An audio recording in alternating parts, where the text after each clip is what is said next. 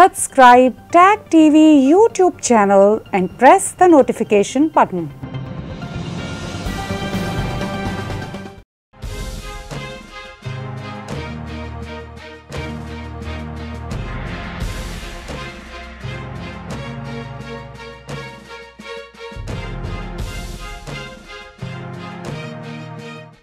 Good evening. Welcome to South Asia Newsline. I'm Lepakshi Khurana. Here are the top stories we're tracking for you on Monday, the 29th of November. India's parliament passes farm laws repeal bill protesting farmers demand MSP law.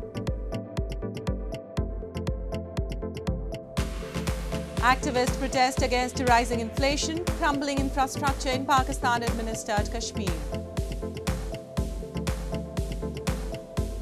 And Taliban seek help in running Afghanistan airports in talks with EU delegates in Doha.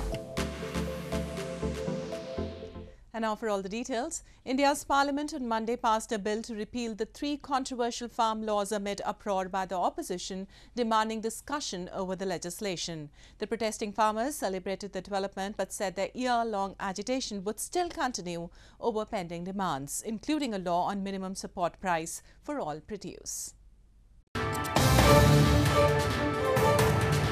India's both lower and upper houses of parliament on Monday passed the Farm Laws Repeal Bill 2021 to revoke the three controversial farm laws, days after Prime Minister Narendra Modi announced his government would roll back the legislation which farmers have protested for more than a year.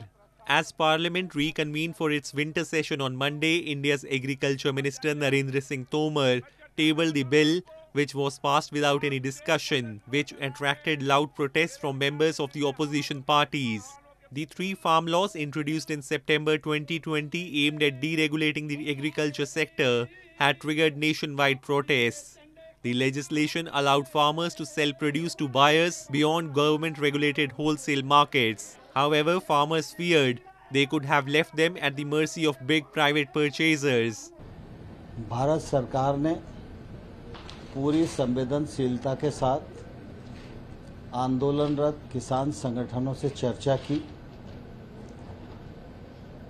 और हमें दुख है कि उसके लाभ समझाने में हम सफल नहीं हुए The protesting farmers celebrated the development but said their year long agitation at the borders of Indian capital New Delhi would only be called off when their other demands would be met, including a legislation ensuring minimum support prices or MSP for all their produce. वो हो गया अभी जो दूसरे और मामले हैं किसानों के उस पर भी सरकार बातचीत करे तो अगर सरकार बातचीत नहीं करती तो आंदोलन जारी रहेगा हाँ हम बिना बातचीत के कहाँ जाएंगे भाई लेकिन The government has not yet made any comment on the protesters' demand for MSP. The government currently buys rice and wheat at state set prices, but it only benefits about 6% of India's millions of farmers. India will make on arrival COVID 19 testing mandatory from December 1st for flyers from more than a dozen countries, including South Africa and Britain, where the Omicron variant has been detected, the country's health ministry said on Monday. Meanwhile, Prime Minister Narendra Modi also urged people to stay alert against the new coronavirus variant, which is now wreaking havoc across the globe.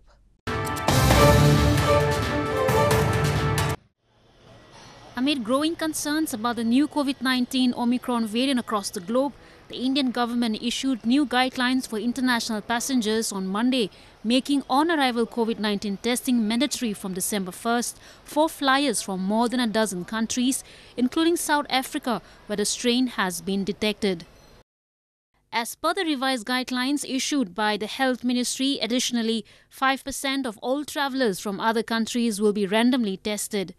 If a passenger is tested positive for coronavirus at the airport, they will be isolated and treated as per clinical management protocol. Only asymptomatic travellers shall be allowed to board the flight after the thermal screening. The surveillance is on, as has always been. So, if uh, it arrives in India, of course, we'll come to know. But uh, the situation, as you said, it has been observed in other countries like the Netherlands, Germany, and of course, the hotspot has been South Africa. Uh, their uh, situation is uh, a bit concerning. I would not say alarming. The Omicron variant was first reported in Botswana on November 11 and appeared on November 14 in South Africa. According to health experts, the mutations in Omicron could help the virus evade the body's immune response and make it more transmissible. Meanwhile, Indian Prime Minister Narendra Modi, while addressing reporters on Monday, also urged people to stay alert against the new coronavirus variant and follow COVID appropriate behavior. And all schools and colleges were closed due to high air pollution levels in Indian capital as New Delhi's overall air quality plunged to severe category in recent weeks.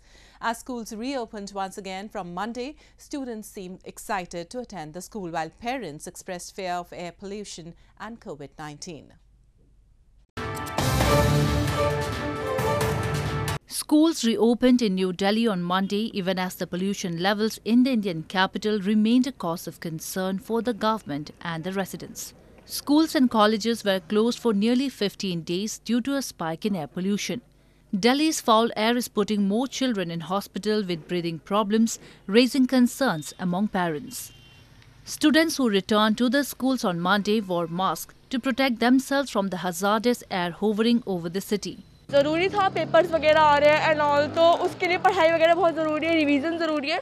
इसलिए आई गया school को खोलना ज़रूरी था। लेकिन pollution अभी भी कम नहीं हुआ है पोल्यूशन अभी वैसे ही है। तो मास्क वास्क लगा के और जितना अपना आप प्रोटेक्ट कर सकते हो उतना प्रोटेक्ट करो पढ़ने के लिए तो कॉम्प्रोमाइज़ करना पड़ेगा ना। पोल्यूशन की स्थिति तो बहुत खराब है जैसा कि हम सब जानते हैं कि सीवियर कैटेगरी में दिल्ली का पोल्यूशन है इस समय। तो स्थिति खराब है इसमें बहुत सारी दिक्कतें आ रही हैं खासतौर पर जो बीमार लोग हैं जिनको सांस की बीमारी है उनको बहुत तकलीफ़ हो रही है Delhi's air quality remained in the very poor category on Monday with an overall air quality index AQI at 370. According to SAFAR, center runs system of air quality and weather forecasting and research. Meanwhile, Delhi Environment Minister Gopal Rai on Monday after a review meeting with officials of departments concerned said the ban on construction and demolition activities in the city will continue till further orders in view of the high air pollution levels. Lower temperatures and a drop off in wind speed leads to thick smog, which in turn traps pollutants from vehicles, industries, and the burning of biomass. Moving on, political activists and locals recently held a protest in Pakistan-administered Kashmir over rising inflation and dilapidated conditions of roads in the illegally occupied region. The protesters demanded immediate relief from Islamabad amid the frequent price rise of essential commodities that has made survival of the poor extremely difficult. Political activists and locals recently held a protest in Pakistan administered Kashmir over rising inflation and crumbling infrastructure in the illegally occupied region. The protesters demanded promised subsidy and relief from Islamabad as they highlighted that the frequent price rise of essential commodities, including food and petrol, have adversely affected the people in the region. They also raised concern over poor condition of roads that have resulted in a number of road accidents. Pakistan ने UNO के अंदर 46 अशिया पे लिख के दिया हुआ है कि यह रियासत के लोगों को इस पे सब्सिडी दी जाएगी। इसी तरह रोडों की जो खस्ता हाली है, जिस तरह यहाँ कुछ एक्सीडेंट हुए हैं, जिनमें जिनमें आपने बाकी पाकिस्तान के अजला में 20-20 लाख मरने वालों को और ज़ख्मियों को 10 लाख की ग्रांट दी है। यहाँ भी लोग यहाँ भी लोगों की जानें ज़ाया हुई हैं ये क्योंकि ये रोडें आपके ठेकेदारों ने दे रखी हैं As part of conditions under a financing facility agreement with the International Monetary Fund, Pakistan government has withdrawn tax exemptions. Locals in Pakistan administered Kashmir accuse instead of providing relief to the already backward territory. Economic losses being faced by Pakistan due to policy paralysis are also being compensated from regions under its illegal control. The Islamic Emirate and European Union delegates held a two-day meeting in Doha discussing the situation in Afghanistan and particularly the way forward this past weekend. During the talks, the EU and Taliban voiced a great concern about the deteriorating humanitarian situation in Afghanistan. The Taliban also asked for help in keeping Afghanistan's airports running.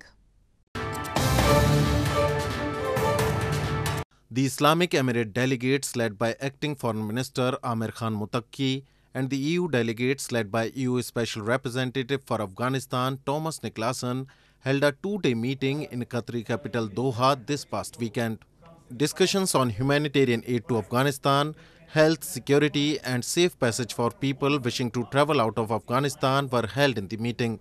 The Taliban side recommitted to allowing Afghans and foreigners to leave if they wish so, but requested assistance for maintaining operations of airports so that could happen. The EU's European External Action Service said in its statement that the dialogue does not imply recognition by the EU of the interim Taliban government, but is part of EU's operational engagement in the interest of EU and the Afghan people.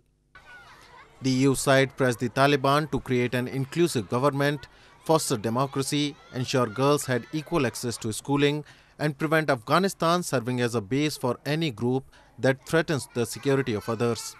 The Taliban reiterated they would uphold human rights in line with Islamic principles and would welcome back diplomatic missions that had closed.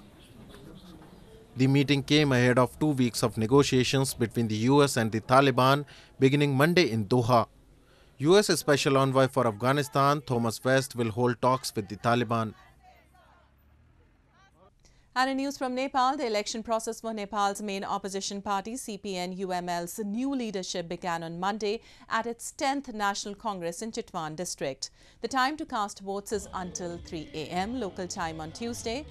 The counting of votes would be immediately started with the conclusion of the voting. Party chair and former Prime Minister KP Sharma Oli and his close confidants made every possible effort to end the 10th General Convention on a unanimous note. Unfortunately, the attempt was foiled by leader Bhim Rawal, who also decided to run against Oli for the post of party chief. The General Convention is mandated to elect the new Central Committee of the party for the next five years. A few important posts have already been filled as the leaders that were nominated for these posts faced no contenders. Ishwar Pokhrel has been elected the senior vice chair of the party unanimously. Shankar Pokhrel was elected party's general secretary. Similarly, Pradeep Gyawali, Prithvi Subba Gurung and Bishnu Rimal have also been elected deputy general secretaries sans contest.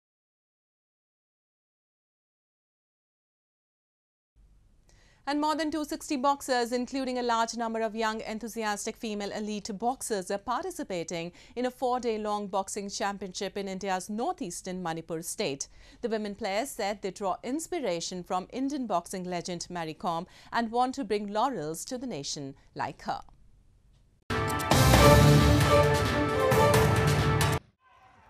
A four day long state level boxing championship underway in India's northeastern state of Manipur is witnessing participation by more than 260 boxers, including a large number of young, enthusiastic women elite boxers.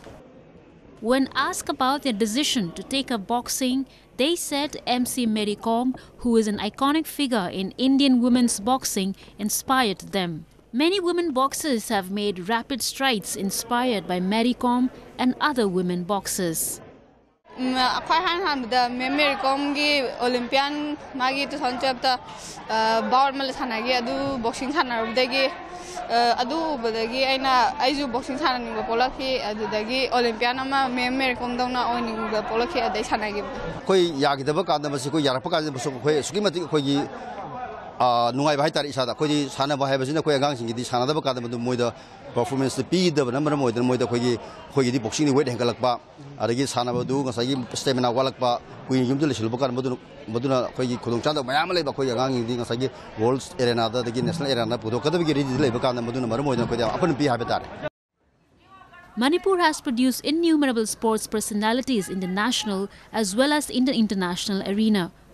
Over the years, the state has been a power center in Indian boxing. Championships like these further hone skills and sportsmanship qualities among the players. The event will conclude on November 30th. Well, that's all we have for you from South Asia this evening. Now, our viewers can watch the show on SouthAsiaNewsline.com. You can also visit us on Facebook.com slash SAsiaNewsline and follow us on Twitter at SAsiaNewsline. That's all in tonight's edition. We'll see you at the same time tomorrow. Good night.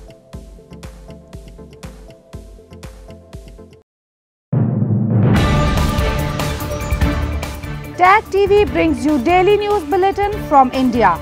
Breaking news and views from India.